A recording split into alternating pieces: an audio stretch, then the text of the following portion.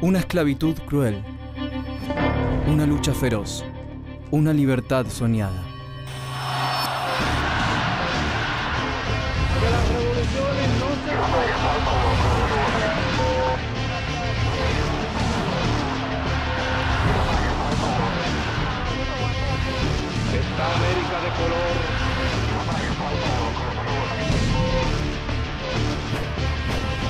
Revoluciones.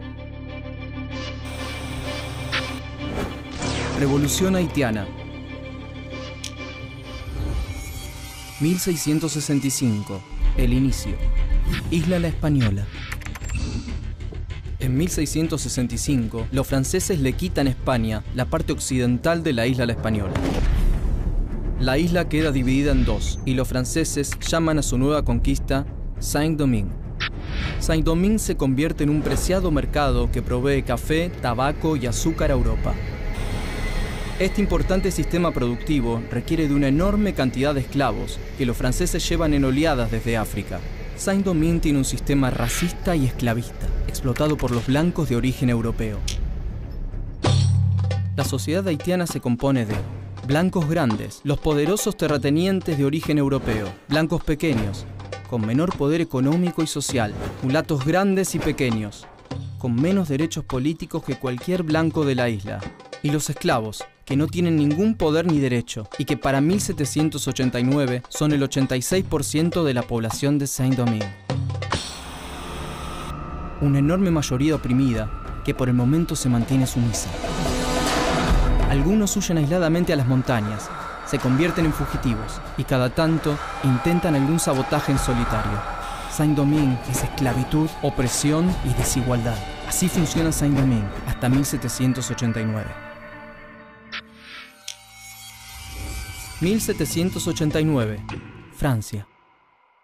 Estalla la Revolución Francesa.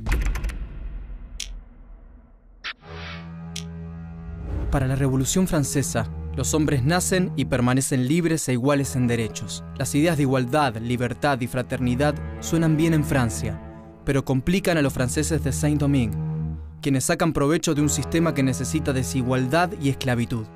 Como la Revolución Francesa no discrimina y llega a oídos de todos, los blancos no van a aceptar al nuevo gobierno en París y van a buscar autodeterminarse. Los mulatos van a intentar obtener derechos políticos y los esclavos van a pedir por todos los derechos denegados. 1790, Primera Asamblea Colonial. En 1790, los blancos grandes organizan la primera Asamblea Colonial de Saint-Domingue para independizarse del nuevo gobierno francés pero van a encontrar una inesperada oposición. Los terratenientes excluidos de la asamblea, sobre todo los mulatos, exigen sus derechos políticos. Se viene la primera revuelta. Vincent Oguet es un terrateniente mulato que se rebela contra las autoridades francesas y contra la asamblea colonial. Lo siguen 250 hombres que exigen trato igualitario para los negros y los mulatos de la isla. Nombre: Vincent Oguet. Lugar y fecha de nacimiento: Saint-Domingue, 1755. Condición social: mulato grande. Oficio: comerciante de café, importador de productos franceses a la colonia. Datos destacados: miembro de la Sociedad Antiesclavista Amigos de los Negros. Los blancos toman represalias para mantener su hegemonía y durante dos meses persiguen y masacran a cada uno de los seguidores de Oguet. Se cometen todo tipo de atrocidades contra los rebeldes. Oguet huye de los franceses y se refugia en el lado español de la isla. Pero la solidaridad entre los europeos opresores hace que sea deportado y ejecutado.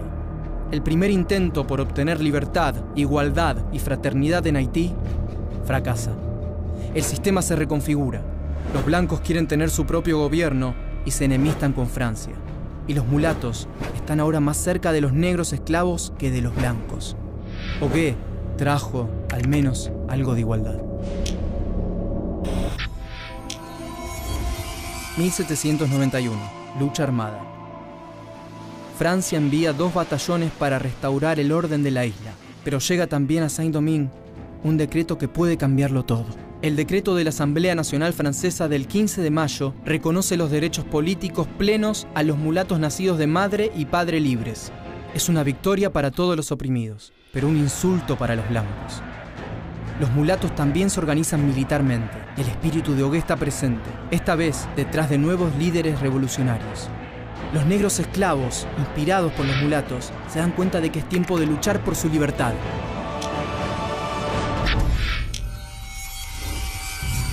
...1791... Bois Caimán... Limbé... Negros esclavos de distintas plantaciones dicen basta con un pacto de sangre.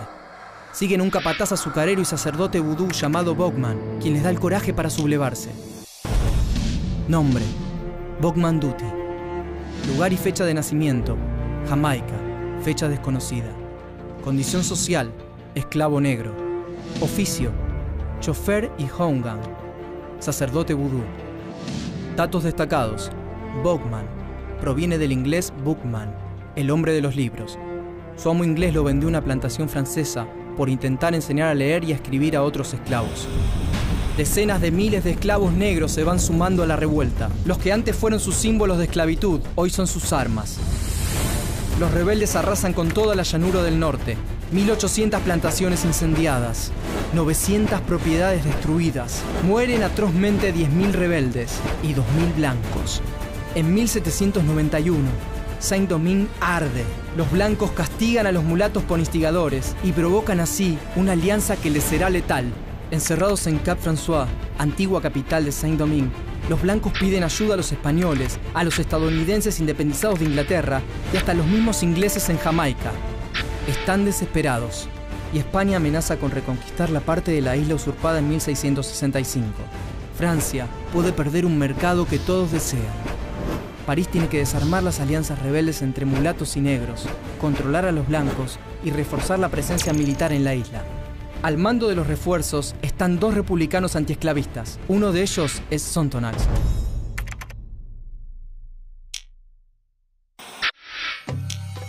...1793... Guerra en Europa. El gobierno revolucionario ejecuta a Luis XVI. Esto une a toda Europa, incluyendo a España, Nápoles y Holanda contra la revolución. La guerra se traslada a Saint-Domingue, donde España ataca a Francia. Pero hay más sorpresas en la isla. Los negros, esclavos y enemigos de los franceses pelean para los españoles.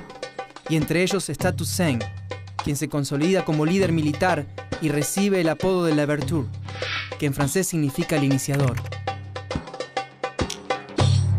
Nombre, François Dominique Toussaint. Lugar y fecha de nacimiento, La Española, 1743. Condición social, esclavo negro con ciertos privilegios. Oficio, chofer y contramaestre. Datos destacados. Toussaint es descendiente de un cabecilla de una tribu guerrera africana. Francia, amenazada, envía al general Galbou para gobernar la isla alineado con los blancos grandes. Sontonax que es antiesclavista, ofrece la libertad a todos los esclavos que luchen contra Galbou y contra las potencias enemigas. Toussaint no duda en convertirse en su aliado. Carta de Toussaint Louverture. Únase a los honrados republicanos y juntos echemos a estos monárquicos de nuestro país. Son aves de rapiña que quieren volver a ponernos los grilletes que con tanta dificultad hemos roto. Toussaint Louverture pasa a luchar junto a los franceses de Sontonax en cuatro años de resistencia y guerra contra los invasores españoles e ingleses, es ascendido a general en jefe de las fuerzas de Saint-Domingue. 1798. La libertad. A fines de 1798, el pueblo de Saint-Domingue está libre de soldados extranjeros y de esclavitud. 1799. Napoleón. Así como la Revolución Francesa había terminado con el absolutismo, en 1799 Napoleón termina con la Revolución Francesa. En 1802, ya sin guerra en Europa, Napoleón aprovecha y envía a Saint-Domingue 24.000 soldados al mando de su cuñado Leclerc para terminar con Toussaint, a quien considera un bandido. Y Toussaint Louverture tiene que capitular tres meses después y muere prisionero en Francia vuelve la esclavitud como si nunca hubieran existido 1789, Ogué, Bogman, Sontonax y Toussaint.